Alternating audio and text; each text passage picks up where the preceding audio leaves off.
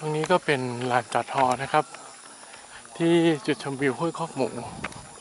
ก็จะเป็นเนินสูงเด่นขึ้นมา แต่ว่านักท่องเที่ยวเขาก็ชอบมานั่งชมวิวกันนะครับ แล้วก็เป็นจุดที่นิยมถ่ายรูปกระโดดนะครับ จุดถ่ายรูปกระโดด ที่นิยมกันมาก เพราะว่าละนอนถ่ายแล้วก็กระโดด จะเห็นเป็นเหมือน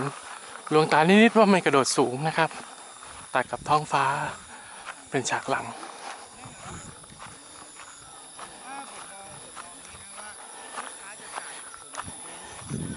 นี่ครับ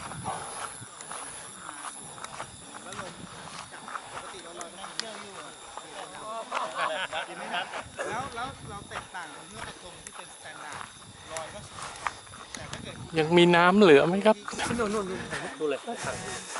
น้ำพี่อันพี่อันแกะรูปแม่รูปน้ำแพะรูปนกอะไรเนี่ยน้ำดื่มไหมนะที่เราเราจะได้ทำกิจกรรมทำกระพงด้วย เราจะเขาเรียกว่าโมนิ